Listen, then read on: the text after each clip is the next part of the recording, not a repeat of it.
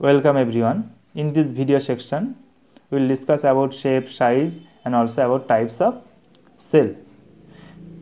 So let us talk of first shape of cell. Cell has various type of shapes and we have taken few example here for our understanding. First shape is disc shape. ডিস্কের চাকতি আকৃতি যদি আমরা দেখি, সেক্ষেত্রে example আমরা RBC of human বলতে পারি অথবা আরবিসি অফ ম্যামালস ছবিতে যারা দেখছি, তাহলে এখানে যে আরবিসিগুলো দেখো, তাহলে আরবিসিগুলো শেপ হচ্ছে বাইকনকেভ এবং তারা ম্যাচের কন্ডিশন নিউক্লিয়াস বিহীন হয়, কারণ এটার মধ্যে হিমোগ্লোবিনের পরিমাণটা যাতে বেশি থাকে তার জন্য। ফলে এটা ই নিউক্লিয়েটেড হয় এবং শেপটা দেখো ডিস্ক আকৃতির বা বাইকনকেভ তারপরে আসছে আমাদের অভিউলা শেপ তাহলে আমরা আরবিসি অফ ক্যামেল যদি দেখি, তাহলে ছবিতে দেখো উটের আরবিসিকে দেখানো হয়েছে, তাহলে সেখানে দেখো তারা নিউক্লিয়ার যুক্ত এবং অভিউলার শেপ এবং এটা কিন্তু তাদের একটা অ্যাডাপ্টেশন যাতে ডেজার্ট অর্থাৎ মরুভূমিতে তারা অ্যাডাপ্ট করতে পারে নিজেদেরকে। নেক্সট যদি আমরা আসি ইররেগুলার শেপ অর্থাৎ কিছু কিছু কোষের ক্ষেত্রে যদি তাদের নির্দিষ্ট কোনো শেপ নেই, যেমন এক্সাম্পল হিসেবে আমরা এখানে যে ছবিটা দেখছি, সেটা হচ্ছে ডব্লিউবিসি হোয়াইট ব্লাড কর্পাসেলের তাহলে এই ছবিতে দেখো, তোমার lymphocyte monocyte neutrophil eosinophil basophil তাহলে পাঁচটা টাইপের ডব্লিউবিসি যেটা দেখানো হয়েছে, তাদের কিন্তু শেপটা ইরেগুলার নির্দিষ্ট কোনো শেপ নেই। নেক্সট আসছি কিডনি শেপ কিডনি শেপ যদি আমরা দেখি, তাহলে সেক্ষেত্রে গার্ড সেল অফ ডাইকার দ্বিবীজপত্রী উদ্ভিদের গার্ড সেল বা রক্ষী যদি আমরা দেখি, তাহলে ছবিতে দেখো, তাহলে এখানে দ্বিবীজপত্রীর উদ্ভিদের রক্ষী করে দেখানো হয়েছে, যেখানে পত্রন্ধ একটা জায়গায় বন্ধ আছে, একটা জায়গায় খোলা আছে। অর্থাৎ রক্ষী কোষগুলো রসস্ফীতি হলে তারা বেন্ড হয়ে যায়, ফলে মাঝখানে যে ছিদ্রটা ওপেন হচ্ছে, সেটাই কিন্তু পত্ররন্ধ্রের ওপেনিং বলা হয়। তাহলে এখানে রক্ষিক কোষ যে দুটো পত্ররন্ধ্রকে ঘিরে অবস্থান করছে, তারা কিন্তু কিডনি শেপের। নেক্সট যদি আমরা আসি, ডাম্বেল শেপ। তাহলে ডাম্বেল শেপের সেল আমরা কোথায় দেখতে পাই? তাহলে গার্ড সেল অফ মনোকর একবীজপত্রী উদ্ভিদের যদি তুমি পত্রতন্ত্র দেখো, তাহলে তাকে ঘিরে যে গার্ড সেল অবস্থান করে, সেটা কিন্তু তোমার ডাম্বেল শেপের তাহলে ছবিতে দেখো এখানে একবীজপত্রী উদ্ভিদের গার্ড সেল দেখানো হয়েছে। তাহলে একটা জায়গায় পত্রতন্ত্র ক্লোজ কন্ডিশনে আছে আর একটা জায়গায় ওপেন কন্ডিশনে আছে। তাহলে এখানে দেখো ডাম্বেল শেপের দুটো রক্ষীকোষ পাশাপাশি অবস্থান করছে এবং তারা যখন বেন করছে রসস্ফীতি চাপের জন্য তখন কিন্তু পত্রান্ত দেখো আবার ওপেন করে যাচ্ছে। নেক্সট কলামনার শেপ তাহলে স্তম্ভ বা পিলার লাইক শেপের যদি আমরা দেখি, তাহলে এক্সাম্পল হিসেবে দেখছি, দেখো, কলামনার এপিথেলিয়াল সেল তাহলে ছবিতে যেটা দেখছি, তাহলে স্তম্ভাকার আবরণী কলার কোষ বা কলামনার এপিথেলিয়াল সেল সেই কোষগুলো দেখো পিলারের বা স্তম্ভের মতন দেখতে এখানে নিচের দিকটাতে দেখো ডিপ কালারের নিউক্লিয়াসগুলোকে সব দেখানো হয়েছে। তারপরে আসছি সিলিন্ড্রিক্যাল শেপ অর্থাৎ কোষ সিলিন্ড্রিক্যাল আকারের বা চোং আকারের কিন্তু হতে পারে।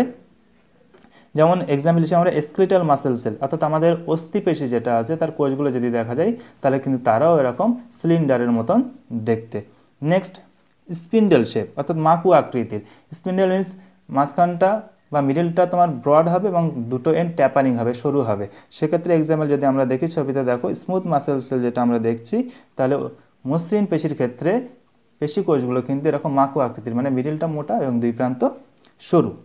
Next amoeboid shape amoeboid shape যদি আমরা দেখি, তাহলে সেক্ষেত্রে কী হবে? অ্যামিবা আকৃতির হবে। তাহলে আমরা একদম সিম্পল এক্সাম্পল আমাদের সবার পরিচিত ছবিতে যেটা দেখতে পাচ্ছি, সেটা হচ্ছে আমাদের অ্যামিবা। তাহলে সেটা হচ্ছে অ্যামিবয়েড শেপ এবং সেখানে দেখো ক্ষণপাত তৈরি হয়েছে। সে মানে এটা সাময়িকের জন্য বা অল্প সময়ের জন্য তৈরি হয়ে এটাকে আমরা সিউডোপোড বলি। তাহলে এটা হচ্ছে অ্যামিবয়েড শেপের এক্সাম্পল নেক্সট আমরা দেখছি কিউবয়েডাল শেপ মানে ঘনকের মতন দেখতে। তাহলে এক্সাম্পল কথাই ভাবো কিউবয়েডাল এপিথিলাম যে ছবিটা আমরা দেখছি, তাহলে ঘনকাকার আবরণী কলার কোষ যেটা হয়, তাহলে দেখো কোষগুলো ঘনকের মতন দেখতে এবং সেখানে ডিপ নিউক্লিয়াসগুলো দেখানো হয়েছে ডিপ কালার দিয়ে।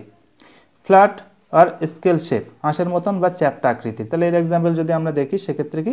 স্কোয়ামাস এপিথিলাম আবরণী কলার কোষ যদি আমরা দেখি, সেখানে কিন্তু আয়সাকার আবরণী কলা আছে। তাহলে ছবিতে যেটা দেখতে পাচ্ছি স্কোয়ামাস এপিথিলাম অর্থাৎ হাঁসের মতন দেখতে আবরণী কলা স্কোয়ামাস এপিথিলামের এক্সাম্পল দেওয়া হয়েছে, যেখানে কোষগুলো দেখো ফ্ল্যাট বা স্কেল লাইক বা আঁশের মতন। Next elongated with many processes অর্থাৎ লম্বাটে ধরনের এবং সেখানে বিভিন্ন ধরনের প্রজেকশন বা অঙ্গ প্রত্যঙ্গ যেন বেরিয়ে আছে তাহলে সেরকম শেপ যদি দেখি, আমাদের খুবই পরিচিত ছবি সেটা হচ্ছে, দেখো নিউরন তাহলে নিউরনের ক্ষেত্রে দেখো, তোমার সেল বডি বা কোষ যেটা আছে, সেখান থেকে বিভিন্ন ধরনের ডেন্ডন বেরিয়েছে মানে প্রসেসেস বেরিয়ে যাচ্ছে, সেই জন্য বলা হয়েছে যে এলঙ্গেটেড উইথ মেনি প্রসেসেস তারপরে অ্যাকশন যেটা লম্বা একটা প্রসেসেস বেরিয়ে গেছে, তাহলে এখানে যে শেপটা সেটা কিন্তু এলঙ্গেটেড উইথ মেনি প্রসেসেস যেমন এক্সাম্পল পেলাম কি আমরা নিউরন নেক্সট কলার শেপ অর্থাৎ কলারের মতন শেপ থাকবে সেলের সঙ্গে, সেটাকে বলা হচ্ছে কলার লাইক যেমন কোয়ানোসাইট কোষ বা কলার সেল যদি আমরা দেখি, সেক্ষেত্রে ছবিটা দেখো, কলার সেলের ছবি দেখানো হয়েছে। তাহলে এখানে কিন্তু কলার লাইক তার একটা গঠন আছে, ফলে কলার সেল বলা হয়, বা এখানে শেপটা কিন্তু কলার লাইক আবার কোষটার সঙ্গে দেখো, একই সঙ্গে সাইডে অ্যামিওয়েড কোষও প্রেজেন্ট থাকে সেটা আমরা ওখানে দেখতে পাচ্ছি। তাহলে তার শেপ কিন্তু আবার অ্যামিওয়েড কিন্তু কলার সেলটার যে শেপ তার কিন্তু দেখো কলার লাইক একটা প্রজেকশন দেখা যাচ্ছে। নেক্সট যদি আমরা দেখি কমা রড থ্রেড লাইক মানে ভেরিয়াস টাইপের শেপ আমরা দেখতে পাবো। ব্যাকটেরিয়ার ক্ষেত্রে যদি আমরা এক্সাম্পলটা দেখি, তাহলে ছবিতে দেখো ব্যাকটেরিয়া শেপ বিভিন্ন হতে পারে। যেমন ভিব্রিও কলেরি কমার মতন দেখতে। আবার রড শেপের কিছু ব্যাকটেরিয়া হয়। যেমন সালমোনের টাইপিং মিডিয়াম যদি দেখো, তাহলে সেটা রড শেপের হবে। তাহলে কেউ বা ওভাল হবে। তাহলে ব্যাকটেরিয়ার কেউ বা থ্রেড লাইক সুতোর মতন দেখতে হবে। তাহলে টিপিনামে প্যালোডিয়াম যেটা দেখানো হয়েছে, সেটা দেখো সুতোর মতন। তার মানে কি? বিভিন্ন আকারের হতে পারে। তাহলে আমরা এই ছবিগুলো বা এই শেপগুলো পড়ার পরে আমাদের যেটা আইডিয়া বা কনসেপ্ট যেটা আছে সেটা যে কোষ বিভিন্ন আকার আকৃতির হতে পারে এবং দেহের বিভিন্ন জায়গায় তারা তাদের প্রয়োজনে বিভিন্ন ধরনের শেপ নিয়ে কিন্তু অবস্থান করছে তাদের প্রয়োজনের জন্য। তাহলে এখানে আমরা দেখলাম কোষ বিভিন্ন আকার আকৃতির কিন্তু হতে পারে। অর্থাৎ কোষের আকার আকৃতির কোনো সীমা নেই, বিভিন্ন হতে পারে। কিন্তু আমরা এখানে ফিউ এক্সাম্পল তুলে ধরেছি আমাদের আন্ডারস্ট্যান্ডিংয়ের জন্য। Clear now we will discuss about cell size তো সেল সাইজের কথা যখনই আসে, তো প্রথমে আমরা যেটা দেখব সেটা হচ্ছে smallest cell and largest cell smallest cell যদি আমরা দেখি সব থেকে ছোটো কোষ, সেক্ষেত্রে আমরা যেটা জানি সেটা হচ্ছে পিপিএলও যেটার ফুল ফর্ম হচ্ছে প্লিউরো নিউমোনিয়া লাইক অর্গানিজম আর এটাকে আমরা মাইক্রোপ্লাজমা বলি। তাহলে মাইক্রোপ্লাজমার যদি আমরা সাইজটা দেখি, সেক্ষেত্রে পয়েন্ট ওয়ান মাইক্রোমিটার থেকে পয়েন্ট থ্রি মাইক্রোমিটার পর্যন্ত হয়। কিন্তু একটা ইম্পর্টেন্ট বিষয় যেটা এখানে হচ্ছে মাইক্রোপ্লাজমা উইদাউট সেল ওয়াল মাইক্রোপ্লাজমার ক্ষেত্রে কিন্তু কোনো সেল ওয়াল থাকে না। সেই জন্য মাইক্রোপ্লাজমাকে কিন্তু আমরা কোথায় রেখেছি? In between virus and bacteria virus ব্যাকটেরিয়ার মধ্যে এটাকে রাখা হয়েছে। কারণ ভাইরাস সেলুলার অর্থাৎ ভাইরাস অকোষীয়। কারণ সেক্ষেত্রে প্লাজমা মেমব্রেন অ্যাবসেন্ট কিন্তু শুধু জেনেটিক মেটেরিয়াল আছে, সেই জন্য ভাইরাসকে কোষীয় বলছি না, কিন্তু সাইজ ছোট। ভাইরাসের থেকে বড় হচ্ছে মাইক্রোপ্লাজমা কিন্তু এখানে এটার ক্ষেত্রে সেল ওয়াল বা কোষপ্রাচীর দেখা যায় না। কিন্তু ব্যাকটেরিয়ার থেকে আবার ছোট। কিন্তু আবার ব্যাকটেরিয়ার ক্ষেত্রে সেল ওয়াল প্রেজেন্ট অর্থাৎ স্মলেস্ট সেল যদি আমরা বলি সেক্ষেত্রে কিন্তু পিপিএলও বা মাইক্রোপ্লাজমার কথা আমরা বলব।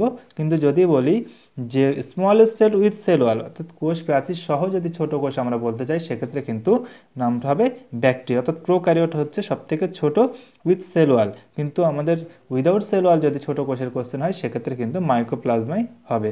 আর এটাকে প্লিউরো নিউমোনিয়া লাইক বলা হয়েছে, কারণ এটা হচ্ছে প্লিউরো মিনস আর ফুসফুসের সঙ্গে বা লাংসের সঙ্গে রিলেটেড এবং নিউমোনিয়া আমরা জানি, ফুসফুসের রোগ। সেই জন্য এটাকে পিপিএলও বলা হয়েছে প্লিউরো নিউমোনিয়া লাইক অর্গানিজম এবার যদি আমরা লার্জেস্ট সেল দেখি সব থেকে বড়ো কোষ সেক্ষেত্রে অস্টিচ এজ অর্থাৎ উট পাখির ডিম। সেক্ষেত্রে সাইজটা অনেকটাই বড় একটা ডিমের ক্ষেত্রে বা একটা কোষের ক্ষেত্রে।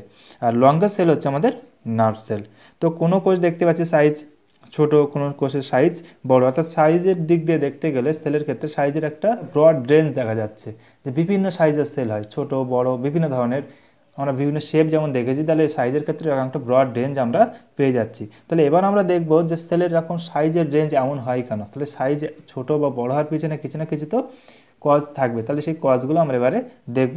তাহলে ফার্স্ট আমরা দেখি যে কী কী ফ্যাক্টরস সেল সাইজটাকে রেগুলেটিং করছে। First factor that regulates the cell size is nucleus cytoplasm ratio অর্থাৎ নিউক্লিয়াসের সঙ্গে সাইটোপ্লাজমের একটা রেশিও কিন্তু ইম্পর্টেন্ট এই রেশিওটাই ফিক্সড করে দেয় সেল সাইজটা ছোট না, বড় হবে। তো আমরা সেই ব্যাখ্যাটা দেখব। তারপরে আসছে surface area to volume ratio surface এরিয়ার সঙ্গে ভলিউম অর্থাৎ পৃষ্ঠতলের সঙ্গে আয়তনের একটা অনুপাত থাকে। তাহলে সারফেস এরিয়া যত বাড়বে, সেই সঙ্গে ভলিউমটার চেঞ্জ কতটা হচ্ছে, সেটাও কিন্তু ডিপেন্ড করছে যে সেলটার সাইজ বড় হবে না, ছোট হবে। আর লাস্ট হচ্ছে রেট অফ মেটাবলিজম তাহলে কোষের বিপাকীয় হার। তাহলে কোনো কোষের বিপাকীয় হার আমরা যেটা দেখব, ছোট হলে রেট অফ মেটাবলিজম বেশি হচ্ছে এবং সাইজ বড় হলে রেট অফ মেটাবলিজম কম হচ্ছে। তাহলে তার উপর ডিপেন্ড করে কিন্তু সেল সাইজটা কম বেশি হয়। তাহলে অনেক ফ্যাক্টর আছে, আমরা মেনলি এখানে তিনটে ফ্যাক্টর আলোচনা করব। একটা হচ্ছে নিউক্লিয়াস সাইটোপ্লাজম রেশিও সেকেন্ড হচ্ছে surface area to volume ratio and third rate of metabolism তো আমাদের ফার্স্ট ফ্যাক্টর আসছে নিউক্লিয়াস সাইটোপ্লাজম রেশিও এখানে আমরা দুটো সেল দেখেছি, দেখো, একটা হচ্ছে স্মলার সাইজের একটা হচ্ছে লার্জেস্ট সাইজ একটা স্মল একটা লার্জ সাইজের তো এখানে সাইজটা কী হচ্ছে? ইনক্রিজ করছে। তাহলে সেল সাইজ ইনক্রিজ করছে, কিন্তু সাইজ অফ নিউক্লিয়াস দেখো রিমেন সেম একই রকম থেকে যাচ্ছে। তাহলে এই কোষটার এই নিউক্লিয়াসটা এটাকে কন্ট্রোল করছে, আবার এই কোষের ক্ষেত্রে যদি দেখা যায়, তাহলে এই কোষের এই নিউক্লিয়াসটা কিন্তু তার কার্যকলাপ নিয়ন্ত্রণ করছে। তাহলে দুটো কোষের ক্ষেত্রে কিন্তু এর এরিয়া অনেক বেশি মানে কম, এর ক্ষেত্রে এরিয়া কিন্তু অনেক বেশি। কিন্তু দেখো, একই নিউক্লিয়াস সাইজ থাকছে, তার মানে সেল সাইজ বাড়লেও নিউক্লিয়াসের সাইজ কিন্তু তেমন বাড়ে না। কারণ আমাদের হিউম্যানের ক্ষেত্রে যদি দেখি টোটাল ক্রোমোজোম সংখ্যা কত? টোয়েন্টি ফর্টি সিক্স মানে তেইশ জোড়া ক্রোমোজোম আছে। ফলে আমাদের একটা বড় কোষের মধ্যেও তেইশ জোড়া ক্রোমোজোম, একটা ছোট কোষের মধ্যেও তেইশ জোড়া ক্রোমোজোম। ফলে নিউক্লিয়াসের সাইজ কিন্তু একই থাকে। কিন্তু সেক্ষেত্রে এখানে তার কার্যক্ষেত্র কম, এখানে তার কার্যক্ষেত্র বা ফাংশন এরিয়াটা কিন্তু অনেক বেড়ে যাচ্ছে। ফলে সেল সাইজ বাড়লেও কিন্তু তার নিউক্লিয়াস সাইজ একই থেকে যায়। ফলে নিউক্লিয়াস এখানে যতটা কন্ট্রোল করতে পারবে ছোট এরিয়াতে এখানে কিন্তু সেই কন্ট্রোলিং পাওয়ারটা তার থাকবে না। তাহলে দে লস্ট অফ কন্ট্রোল মানে তারা কন্ট্রোল হারিয়ে ফেলে। তাহলে এখানে নিউক্লিয়াস এবং সাইটোপ্লাজম তাহলে সাইটোপ্লাজম কাকে বলা হচ্ছে? নিউক্লিয় পদার্থ থেকে সাইটোপ্লাজমের মধ্যে যে এরিয়াটা সেটা হচ্ছে সাইটোপ্লাজম এটা হচ্ছে নিউক্লিয়াস তাহলে নিউক্লিয়াস এবং সাইটোপ্লাজম রেশিওটা কিন্তু একটা নির্দিষ্ট থাকে। যদি এই কোষের ক্ষেত্রে আমরা ধরি, তাহলে নিউক্লিয়াসে ধরে নিচ্ছি ওয়ান এবং সাইটোপ্লাজম রেশিও হচ্ছে টু এবার যেহেতু সেল সাইজ বেড়ে যাচ্ছে, তাহলে নিউক্লিয়াসের রেশিও তো সেম এক থেকেই যাবে। কারণ নিউক্লিয়াসের সাইজ একই থেকে যাচ্ছে, কিন্তু সাইটোমের এরিয়া যেটা বেড়ে যাচ্ছে, সেটা হয়তো ফোর হয়ে গেল। তাহলে রেশিওটা দেখো ওয়ান ইস টু টু থেকে চেঞ্জ ওয়ান টু ফোর হয়ে গেল। তাহলে এখানে নিউক্লিয়াস সাইটোমের যে রেশিও যেটা ছিল, সেটা চেঞ্জ হয়ে যাচ্ছে। ফলে সেল সাইজ যত ছোট হবে, এই রেশিওটা তত ফিক্সড হবে বা এই রেশিওটা এমন একটা মাত্রায় বা এমন একটা মান আসবে, যেটা সেল কন্ট্রোলিং বা ওই নিউক্লিয়াসটা ওই সেলের কন্ট্রোলটা ঠিকঠাক করতে পারবে। অর্থাৎ মূল বিষয় হলো, যেহেতু নিউক্লিয়াস হচ্ছে কোষের ব্রেন ব্রেন অফ সেল বলা হচ্ছে, তাহলে এই ব্রেনটা এইটুকু নিয়ন্ত্রণ খুব সহজে করতে পারবে, কিন্তু তার যখন কার্যক্ষেত্রে বেড়ে যাবে, তাহলে তার নিয়ন্ত্রণ কিন্তু আস্তে আস্তে হারিয়ে যাবে। এটা হচ্ছে সিম্পলি আমরা বলতে পারি। তার মানে যত সেল সাইজ ছোট হবে, কন্ট্রোল তত ভালো হবে, সেল সাইজ যত বাড়তে থাকবে, কন্ট্রোল তত কিন্তু হারাতে থাকবে। সেই জন্য সেল সাইজ সবসময় ছোট হলেই সেটা সুবিধাজনক। তাহলে আমাদের next factor for controlling cell size সেটা হচ্ছে surface area to volume ratio তাহলে সার্ফেস এরিয়া ভলিউম রেশিও এটা এক্সপ্লেন করার জন্য আমরা কিউআরের সেলটাকে এখানে বেছে নিয়েছি। তো সেল শেপ যেহেতু বিভিন্ন ধরনের হয়, তো সেই জন্য আমরা এখানে একটাকে বেছে নিয়েছি, সেটা হচ্ছে কিউআরএল শেপ তো কিউআরএল শেপের ক্ষেত্রে যেহেতু আমরা দেখছি ঘনক, যেহেতু তাহলে তার দৈর্ঘ্য, প্রস্থ, উচ্চতা অর্থাৎ লেন্থ হাইট ওয়াইড সব যদি দেখি, সেক্ষেত্রে সব সেম হবে। তাহলে আমরা যদি এখান থেকে এরিয়া ক্যালকুলেট করি, সেক্ষেত্রে কী হবে? Six into square same square হবে। অর্থাৎ এখান থেকে সিক্স স্কোয়ার সেন্টিমিটার কিন্তু আমরা এরিয়া পাবো। হলো?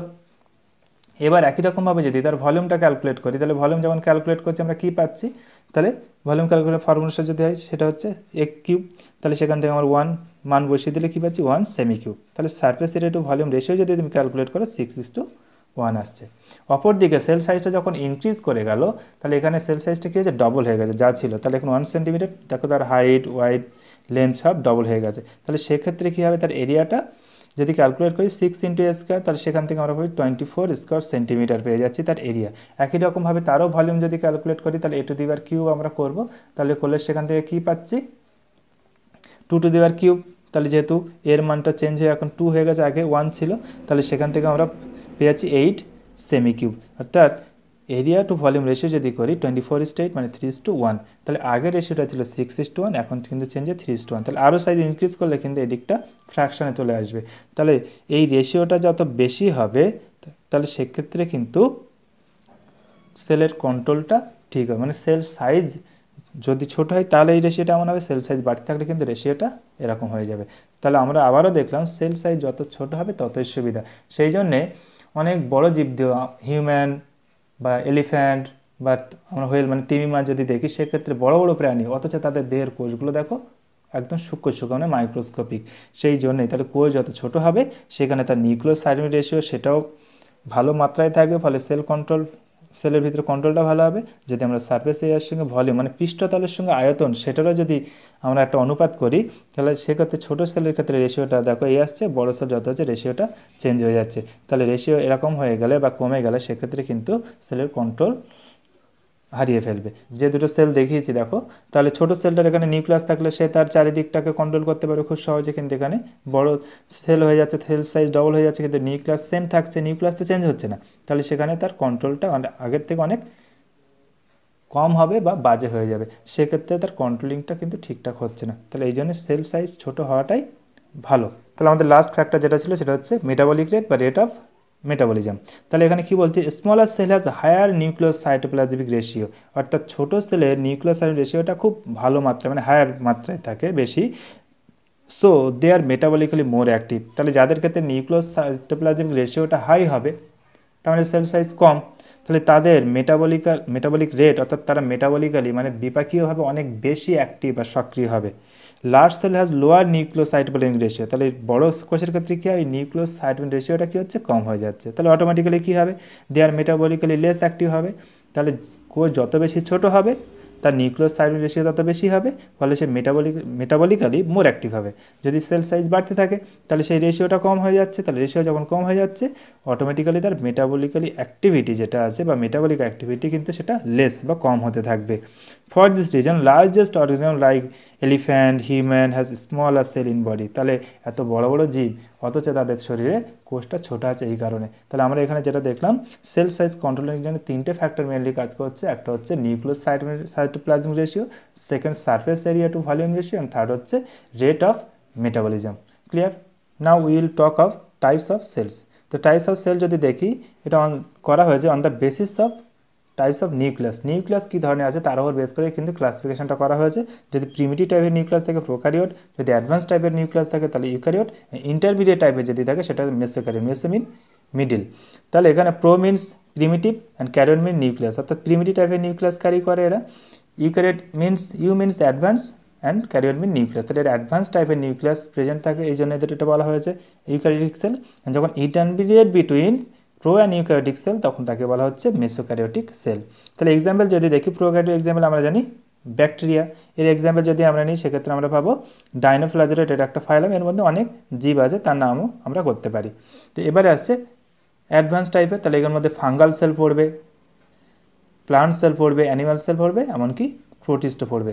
ফাইভ কিংডম ক্লাসিফিকেশন যদি আমরা দেখি, তাহলে Monera Protista Fungi Plantae Animalia বলে আমরা পাঁচটা কিংডম পেয়েছি। সেই পাঁচটা কিংডমের মধ্যে মনেরার মধ্যে সমস্ত প্রোক্যারিওট তাহলে প্রোক্যারিটিক সেল যারা আছে মানে মনেরা কিংডমের মধ্যে যত জীব সম্পর্কে তুমি পড়বে, সবাই কিন্তু প্রোক্যারিওটেড টাইপের তাহলে ব্যাকটেরিয়া থেকে শুরু করে যারা আছে মনেরা কিংডমের মধ্যে, তারা সবাই কিন্তু প্রোক্যারিওট আর বাকি যারা আছে, তার মানে ফাঙ্গির মধ্যে ফাঙ্গাল সেল পড়বে প্লান্টের মধ্যে প্লান্ট সেল পড়বে অ্যানিমেলিয়ার মধ্যে অ্যানিম্যাল সেল পড়বে এবং প্রোটিস্টার মধ্যে প্রোটিস্ট সেল পড়বে। তাহলে এরা সবাই কিন্তু মানে এই সব কিংডমগুলোই কিন্তু ইউক্যারিটিক টাইপের সেল দ্বারা গঠিত। এখানে যত এই কিংডমগুলোতে যে জীবগুলো আমরা দেখব, প্রত্যেকে ইউক্যারিটিক সেল দ্বারা কিন্তু গঠিত। এবার যদি দেখি, তাহলে প্রোক্যারিটিক সেল যেহেতু, তাহলে নিউক্লিয়াস প্রিমিটিভ এবং কোনো মেমব্রেন বাউন্ড স্ট্রাকচার থাকবে না। No membrane bound structure that is organelle absent only ribosome present that is seventy S type and eukaryote যদি দেখো, সেক্ষেত্রে কিন্তু অর্গানের present mitochondria Golgi body endoplasmic reticulum lysosome etcetera সবই present আছে। উদ্ভিদ সেল হলে প্লাস্টিডও থাকবে, কিন্তু এখানে রাইবোজমটা থাকছে এইটেস মানে মেমব্রেন বাউন্ড মেমব্রেন লেস কারণ রাইবোজম এখানে আছে, সেটা মেমব্রেন লেস এটাও কিন্তু মেমব্রেন লেস অর্থাৎ এখানে মেমব্রেন বাউন্ড স্ট্রাকচার থাকে না, কিন্তু মেমব্রেন লেস মেমব্রেন বিহীন যেটা আছে, সেটা হচ্ছে সেভেন এস টাইপের রাইবোজম আর এখানে অর্গানিকগুলো তো প্রেজেন্ট থাকছে মেমব্রেন যুক্ত, সেটা ডবল মেমব্রেন বা সিঙ্গেল মেমব্রেন হতে পারে, আর একই সঙ্গে রাইবোজমও প্রেজেন্ট থাকছে মেমব্রেন লেস সেটা হচ্ছে এইট টেস টাইপের এবার এদের মধ্যে মেন ডিফারেন্স যেটা, তাহলে এদের জেনেটিক ম্যাটেরিয়াল যেটা ডিএনএ সেটা কিন্তু ন্যাকেট কন্ডিশনে নিউক্লিয়ার রূপে সাইটোপ্লাজমে পড়ে থাকে। হলো? কিন্তু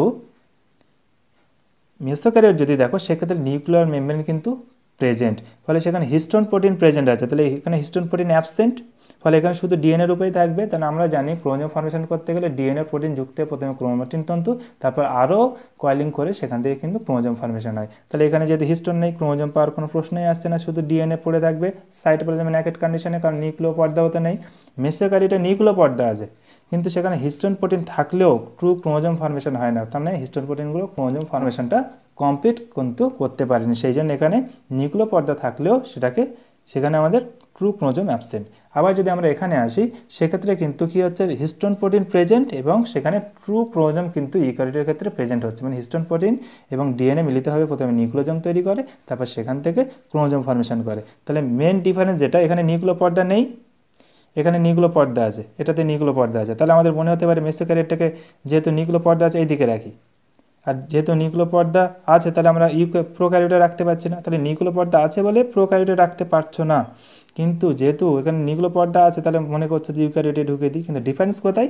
হিস্টোন প্রোটিন আছে, ট্রু ক্রোমোজোম অ্যাবসেন্ট। আর এখানে হিস্টোন প্রোটিন আছে, ট্রু ক্রোমোজোম প্রেজেন্ট। তাহলে ক্রোমোজোমের বেসিসে যদি দেখো, তাহলে এটাকে আর এখানে রাখা যাচ্ছে না। তাহলে নিউক্লো পর্দা নেই বলে এখানে রাখা হলো, আর এখানে ক্রোমোজোম তৈরি হয়নি বলে এখানে রাখা হলো। তার মেসোক্যারিওটিক না প্রোক্যারিওটের মধ্যে পড়ছে, না ইউক্যারিওটিকের মধ্যে পড়ছে। সেই জন্য এটা হচ্ছে মেসোক্যারিওটিক সেল তাহলে এই হচ্ছে আমাদের তিনটে টাইপসের সেল কিন্তু সেখানে নিউক্লিয়াসের বেস করে ডিফারেন্সটা করা হয়েছে এবং এখানে কিন্তু তাদের বেসিক ফিচার্সগুলো বলা হয়েছে, একই সঙ্গে তাদের ডিফারেন্সটাকেও দেখানো হয়েছে। এবার দেখো, এটা হচ্ছে একটা এই প্রোক্যারিওটিক সেল আমরা ব্যাকটেরিয়া সেলকে এখানে দেখিয়েছি, এটা হচ্ছে মেসোক্যারিওটিক সেল এটা হচ্ছে ইউক্যারিওটিক সেল অর্থাৎ তিনটে সেলের ডায়াগ্রাম দিয়ে আমরা এখানে পার্থক্যটা দেখানোর চেষ্টা করেছি। তাহলে প্রোক্যারিওটিক সেলের ক্ষেত্রে আমরা বলেছি প্রিমেটিভ নিউক্লিয়াস অর্থাৎ নিউক্লিয়াস কি? প্রিমেটিভ টাইপের ফলে নিউক্লিয়ার মেমব্রেন থাকবে না, ফলে দেখো জেনেটিক মেটেরিয়াল যেটা নিউক্লিয়েট সেটা কিন্তু সাইটোপ্লাজমে পড়ে আছে এবং এখানে মেমব্রেন লেস অর্গানিক যেটা শুধু প্রেজেন্ট আছে সেটা কিন্তু রাইবোজম অন্য কোনো অর্গানিজ কিন্তু এখানে প্রেজেন্ট নেই। ক্লিয়ার তাহলে এখানে মেমব্রেন বা অন্য কোনো অর্গানিক কিন্তু নেই সেটা দেখানো হয়েছে। এবার যদি আমরা মেসোক্যারিওটে যাই, তাহলে দেখো সেক্ষেত্রে নিউক্লিয়ার মেমব্রেন প্লাজমা মেমব্রেন আছে। সাইটোপ্লাজম আছে এখানে কিছু কন্ট্রাক্টাইল ভ্যাকুয়াল থাকতে পারে অর্গানেলস তেমন প্রেজেন্ট থাকে না। তো এবার যদি দেখি নিউক্লিয়ার মেমব্রেন কিন্তু সেখানে প্রেজেন্ট কিন্তু ভিতরে পয়েন্টিংটা দেখো ডিএনএ করা হয়েছে। তার মানে এদের হিস্টোন প্রোটিন যেহেতু নেই, ফলে এরা ক্রোমোজোম তৈরি করতে পারছে না সেখানে ডিএনএ আছে।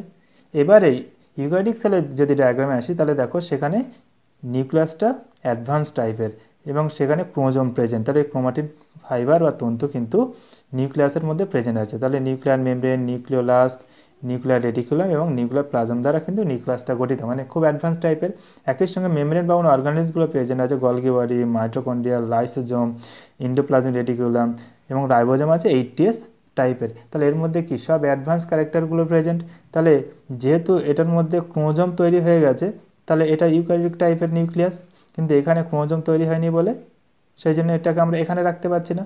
আবার যেহেতু নিউক্লো পর্দা আছে, ফলে এটাকে আমরা প্রোকারিডিও রাখতে পারছি না। তাহলে দেখো, এটা নিউক্লো পর্দা আছে বলে প্রোকারিডিও থেকে উন্নত।